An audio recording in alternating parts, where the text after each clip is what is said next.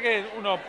también entiende que hay un espíritu crítico y que se ven las medidas y se, si no las medidas no fueron las adecuadas, se las modifica. Lo que hay que tener muy en cuenta es la angustia que se genera con sectores muy, muy vulnerables. La pensión no contributiva son 70.000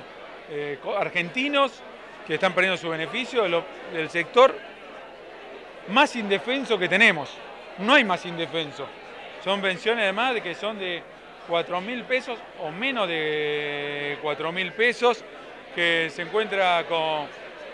imposibilitado de acceder capaz que a un asesoramiento jurídico, a poder trasladarse en muchos lugares del país, trasladarse a la oficina de ANSES trasladarse a una oficina nacional o municipal porque están a gran, a gran distancia y se encuentran indefensos.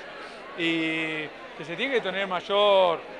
responsabilidad, hacer una, evaluación más exhaustiva, si hay casos de pensiones que están mal dadas, hacerlo de manera quirúrgica, no hacerlo, no entrar a operar con una motosierra y lastimar a un sector eh, muy, muy indefenso y eso es lo que sí genera, eh, la verdad que genera un poco de bronca, un poco de angustia y un poco de rebeldía ante esta cuestión que, que tanto nos afecta, que esperemos que que no se siga dando, que no pase lo mismo con las pensiones de viudez como se ha anunciado,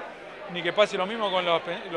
beneficiarios de Progresar, como también se ha anunciado, porque lo necesitan los jóvenes para, para estudiar, es un aporte importante para que puedan continuar con sus, con sus estudios. Esperemos que,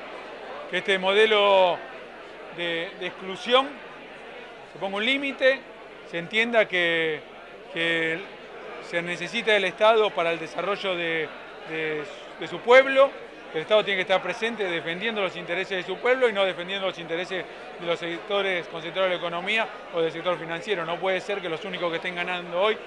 son los que están en el sector financiero. No puede ser que mientras estamos dando de baja pensiones no contributivas, que